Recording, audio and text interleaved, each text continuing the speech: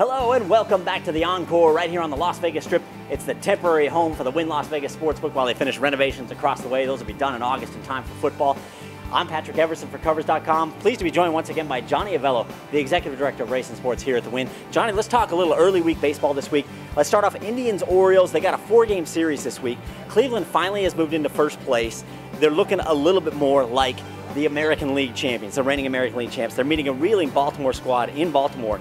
Is this an ideal situation for, for people to start betting the Indians, or where are we at on that? Well, it was an ideal situation if you bet them five games ago because they won their last five. Right. When it's all said and done, the Cleveland's going to win this division, you know, and they're because they have the pitching overall. Now Baltimore's playing a little bit better, won two straight, but only three and seven the last ten. Baltimore's strength though is at home. Right. At home record of 23 and 11, very very strong for a team that's under 500. So.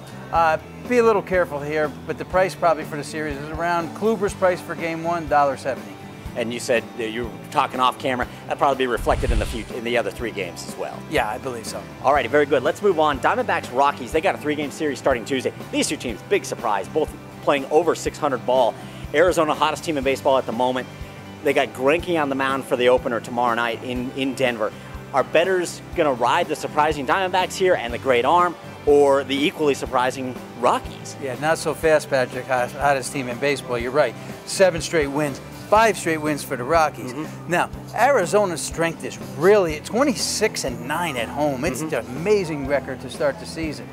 But remember that Colorado is equally as well, not only at home, but on the road.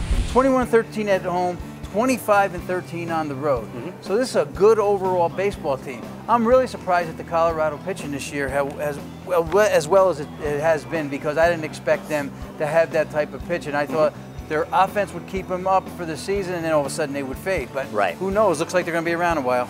All righty, Greg, can you probably go off in the favorite as the favorite in that game, though? Oh, definitely, yes. All righty, very good. Finally, let's move on. Blue Jays Rangers four game series. Not much to talk about the Blue Jays here, but the Rangers, you know, while Houston is kind of running away with the AL West, they've had a little bit of a bump.